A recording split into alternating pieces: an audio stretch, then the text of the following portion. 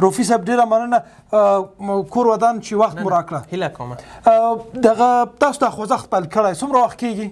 تقریبا دا مونږ 15 د سپټمبر نم شروع کړی دا اوکی او نو تقریبا نن د 14 د اکتوبر دا تقریبا یو میاش پوره کیږي په دغه یو میاش کې د افغانانو رول څنګه وو ډیر زیات چې مونږ چې کله په واشنگټن ډي سي کې د کانګرس مخه ته کوم پرلت کړی و په هغې کې د شپې به تقریبا مونږ سره سل دوه سوه نفر به راتلل او مونږ سره به کېناستل او هغوی به د دې افغان اډجسټمنټ په اړه کې معلومات مونږ نه غوښتل. هدف مو څه شی دی؟ هدف مو د افغان اډجسټمنټ اکټ تصویبول دي، د دې پاس کول دي د کانګرس نه. افغان اډجسټمنټ اکټ څه شی دی؟ افغان اډجسټمنټ اکټ دا یو قانون دی چې د امریکا په کانګرس کې معرفي شوی ده چې هغه افغانان په تېر کال کې دلته انتقال شوي وو افغانستان ته، د هغوی دپاره دایمي اسناد ورکوي، هغه افغانان چې په افغانستان کې پاتې دي د هغوی دپاره یوه لاره جوړوي چې ډیر په چټک توګ باندې امریکا ته راسي، د هغوی کارونه په چټک توګ باندې مخکې لاړ سي او ایس آی وي ته نوي خلک معرفي سي، هغه خلک چې هغه مخکې د ایس آی وي په پروسیسه کې شامل نه ول نو تقریبا یو لک نه تر درې لکه نفره پورې نوي به د ایس آی وي پروسیسې ته معرفي سي. د افغان اجسمنټ اکټ د امریکا حکومت دپاره یو نوی پروسیسه ده؟ دا هو دا یو نوی قانون ده. چون دا پروسیسه نه بلکې دا قانون ده چې دا به د امریکا په قانون کې شامل سي چې دا بیا هیڅوک نسی ایسته کوي دا بیا د سي کوم عمل تر سره سره و نه مخکې د سي عمل د افغانستان د پاره نه و د نور هوادو د پاره و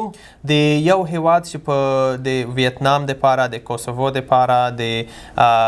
یو بل قانون چې د انډو منچورین اکټ ورته ویلې هغه وخت کې چې کله د ویتنام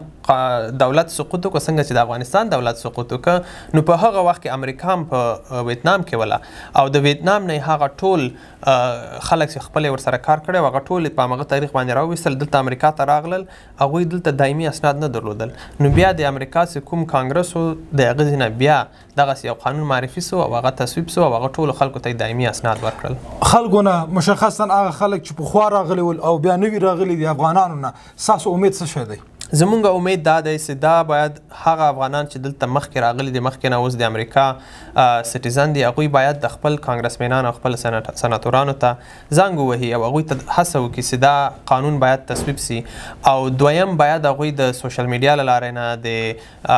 د میډیا د لارې نه باید دا خبرې خپرې کړي او افغانانو ته او نورو خلکو ته دا قانون معرفي کړي، دا قانون ورته تشریح کړي چې دا قانون څه شی ده، دا د چا لپاره دی، ځکه چې اوس په امریکا کې خاصتاً په دا د سپینیانو کې په امریکایانو کې ډېر داسې خلک دي چې هغه نه غواړي چې دا قانون پاس شي، نو هغوی منفي نقطې خلکو سره شریکوي چې هغه افواهې دي، هغه رښتیا نه. منفي نقطې څه شی دي؟ لکه منفي اوله نقطه دوی دا وایي چې دغه اتاویا زره خلک امریکا ته انتقال شوي دي دا خلک د دې قانون لارې نه دوی ته مستقیم که دایمي اسناد ورکړل شي دا به د امریکا د هغه د امنیت لپاره یو منفي نقطه او دا به د امریکا د امنیت لپاره ښه نه دا پروسه چې تاسو پیل کړی څومره امید لرئ چې دا به بریالی شي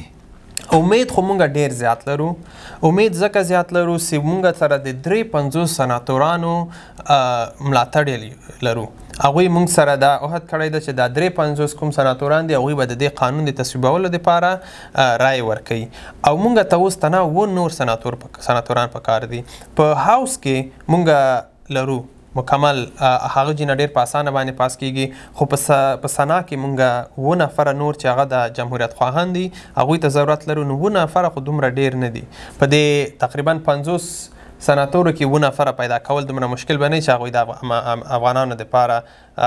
دا قربانی ورکی یا د افغانانو ملاتړ وکی خو مشکل دغه ده سی هغه خلکو ته لاسرسی خلکو نه ده کړی، خلک نه دي ورغلي، هغوی سره یې بحث نه دی کړی، هغوی ته یې دا قانون تشریح کړی نه دی، نو موږ د دې لپاره چې هغوی ته ورشو، هغوی ته هغوی قانع کړو، هغوی ته دا معلومات ورکړو، هغوی ته دا قانون تشریح کړو، نو ځکه چې دا دوه ورځو کې موږ هغه دوه ورځې مخکې موږ په اوهایو کې وو، اوهایو کې چې کوم سنټر پورټمن دی، هغه د جمهوریت خواهانو نه یو ډېر قوي سناتور ده، نو هغه سره موږ وغږېدلو. او هغه هم مونږ ته همدغه تشویشات یې مونږ ته بیان کړل سې دا خلک کېدای سي د امریکا د د هغه دپاره د امنیت لپاره ښه نه وي نو مونږ هغوی ته ویل چې نه دغه خلک چې کله دوی دایمي اسناد اخلي د دوی ټولو بګراونډ به چک کېږي د دوی ټولو به معلومات کېږي او تیار چک سوی هم ده ځکه دوی چې په کمپونو کې زما معلومات ده زما په کمپونو کې چې دوی دوی بایومټریک سوی بګراونډ چک سوی هر څه سوي دي فقط دوی دلته راغلي او ډاکومنټیشن ته ضرورت لري د افغان اجسمنټ اکټ دوه درې ګټې راته په لنډو ټکو ووایه اوله ګټه دا ده چې افغانانو ته دایمي اسناد ورکول کېږي چې دلته بدون د اسنادو نه دي اوس دویم دا ده چې د هغه افغانان چې په افغانستان کې پاتې دي لکه ایس آی وي او د فامیلانو ویزې دي هغه افغانانو ته به ډېر زر ویزې ورکړل یعنی فامیلی ریونیفیکیشن دی فامیلی ریونیفیکیشن دی ایس آی وي ده امیګریشن ویزې دي پی 1 دی پی 2 دی او نورې بعضې ویزې دي د کار دپاره نو هغه ټولو ته به ډېر په چټک توګه باندې نو د دې د عمل کېدا دپاره خلکو نه څه غوښتنه لرئ خلکو نه دا غوښتنه لرو چې خپل سناتورانو ته زنګ ووهئ ایمیل ورته کوئ او هغوی هغوی ته هڅه ورکړئ چې دا قانون ملاتړ یې وکړي او خپل خپلوانو ته خپلو ملګرو ته هم همدغسې معلومات ورکړي ډېره مننه او زما غوښتنه تاسو نه دا ده چې تاسو صافی صاحب روفي صاحب یوازې مه پرېږدئ د دوی هیومن فرست د ادارې پاڼه فیسبوک پاڼه او نور ټولنیزې پاڼې وڅارئ دوی سره همغږی سئ او د افغانانو ملاتړ وکړئ ډیره مننه